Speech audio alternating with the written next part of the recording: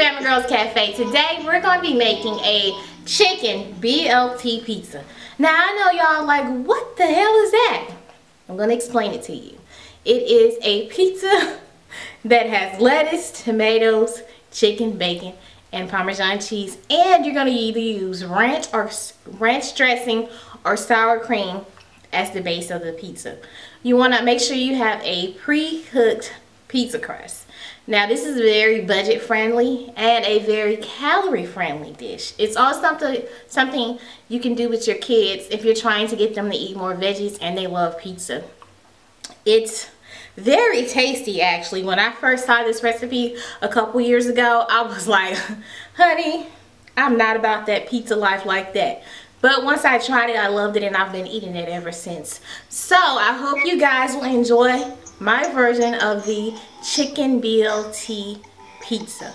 If you're interested in seeing how I slay this pizza, then you definitely want to stay tuned in because it's about to go down here on Bama Gurl Cafe.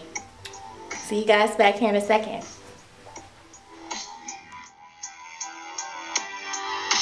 Alright guys, so we're going to start off with some chicken strips and some bacon and we're going to season these chicken strips up with some fresh ground black pepper, some garlic powder,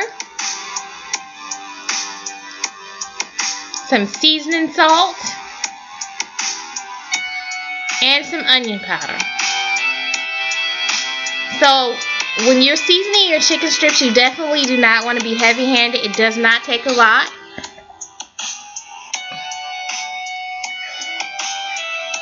So we're going to put some seasoning salt down. More garlic powder. Some onion powder.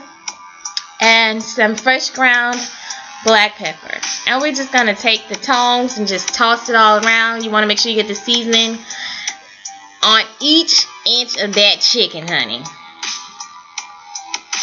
So now we're going to go ahead and we're going to put out our cookie sheet. And I like to lay my chicken and my bacon on the cookie sheet because I don't like it sitting in the oil um, that's from the bacon. Because it keeps the, uh, when you lay the bacon flat in the pan, it doesn't get crispy. So I wanted to crisp up really nice and I don't want the chicken to get greasy. So I'm going to lay it on this rack. And you can cook the bacon and the chicken on the same rack.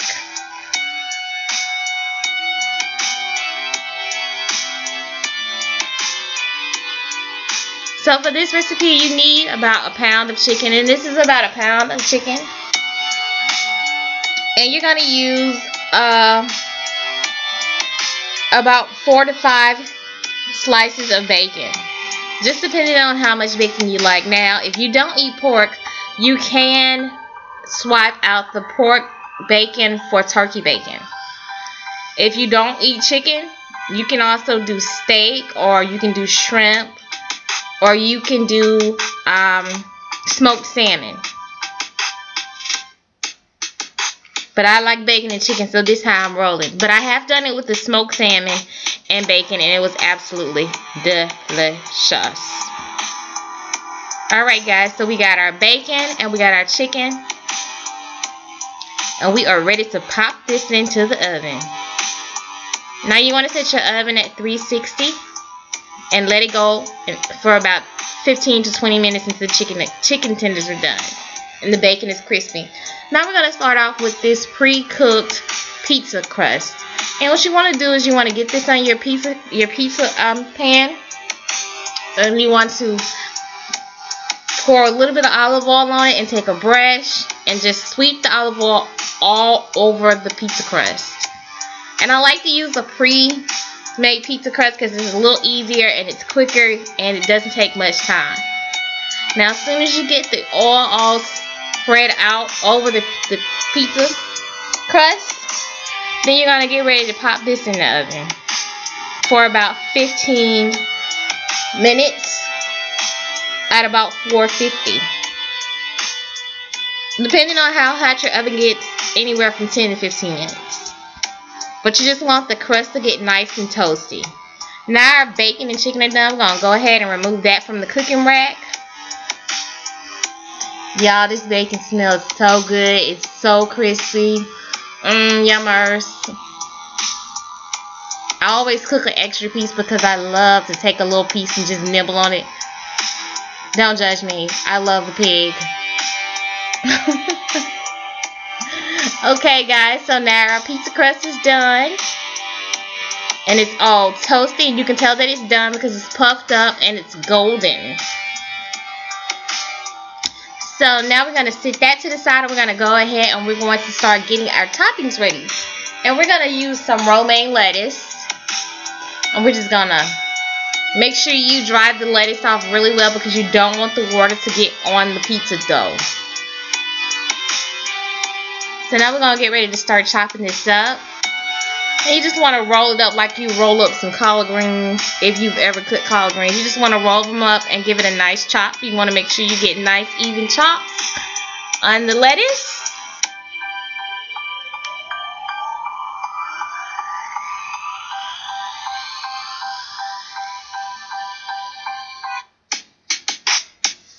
And now we have our lettuce all chopped. We're going to push that over to the side, honey. We're going to get some grape tomatoes. And I love these tomatoes. They're really sweet. And to keep them from rolling off of the pizza, I like to cut them in half. So you just need a handful. My hands are small, so it's about a handful and a half for me. But you want to just cut them in half. And then once you get through with this, you want to go ahead and just put them on the same plate with the lettuce. So be careful and take your time. You do not want to cut your finger. Alright, so now we have all our veggies for the pizza. Now, if you like onions and bell peppers, you can add that on too, but this is what I like, so you can add or take away from this whatever you want to to customize this pizza to your liking. So now we're going to go ahead and we're going to chop up these chicken strips. They smell so good. They still a little warm. Oh my goodness. I'm so guilty because I know that I'm to like eat a couple pieces and I always do. so you just want to give them a nice cut. Cut them to the size that you prefer. If you have smaller kids, um, to make sure that they don't choke, you might want to cut the pieces up a little bit smaller. And I really like doing this recipe because it's something that you can do with your kids. Kid friendly and they can, you know, put the toppings on themselves the way they like it. So you can do one for you and you can do one for the kids and it's a healthy, fun way to get the family in the kitchen and get some veggies and get a good, easy, quick Saturday afternoon meal. And family time, which is the most important.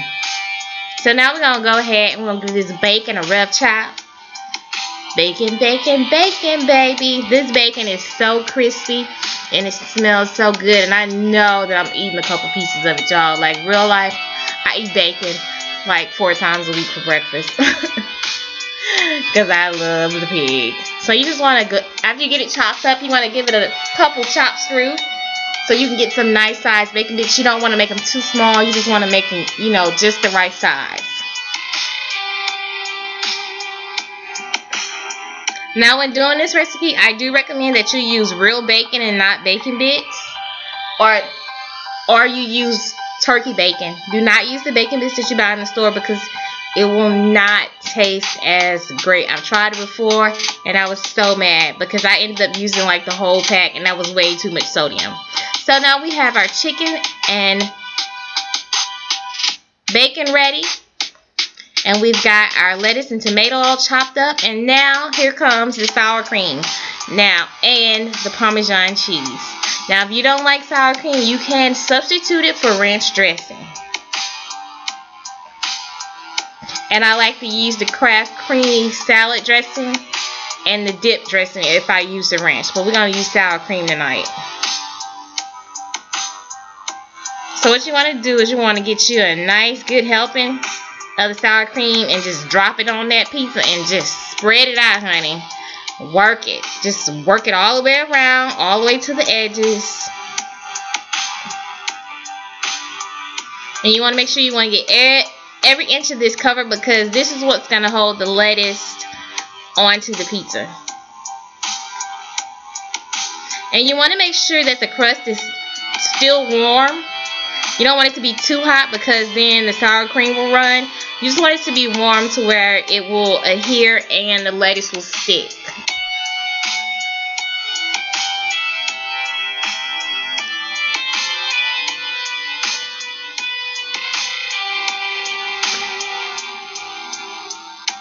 Alright y'all, so now we got our sour cream on there. And we're going to go ahead and get ready to start putting the lettuce down. Want to spread the lettuce all nice and pretty and even. Make sure you get it to the edge as close as possible without it coming off.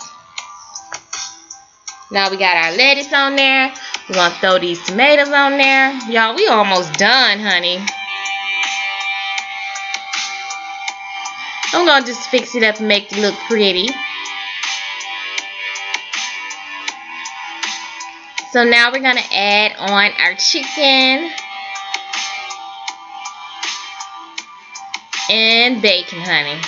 This is why they call it a chicken BLT pizza because it is delicious. It's calorie friendly if you use turkey bacon. It's easy to make. It's kid friendly.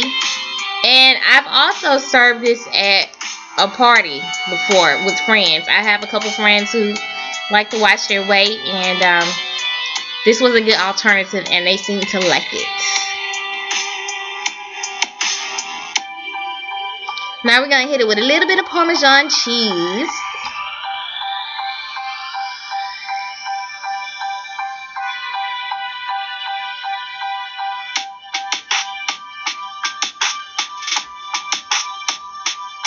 And voila guys, we're done.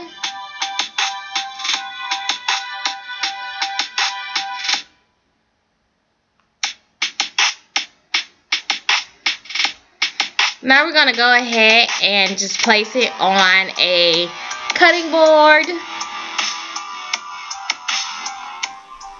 Alright guys, so I hope you guys enjoyed the chicken BLT pizza. It's very tasty, it's easy to make, and it's delicious.